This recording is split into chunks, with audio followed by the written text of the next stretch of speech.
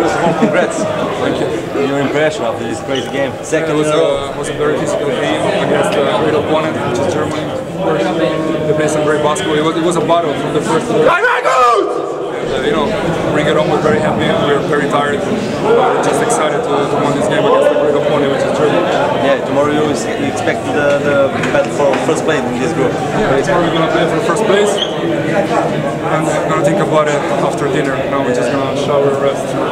A few words uh, about Serbia. Serbia is an unbelievable team again. We're gonna play, you know, these three games are one harder than the other one. So tomorrow is gonna be again uh, an unbelievable battle.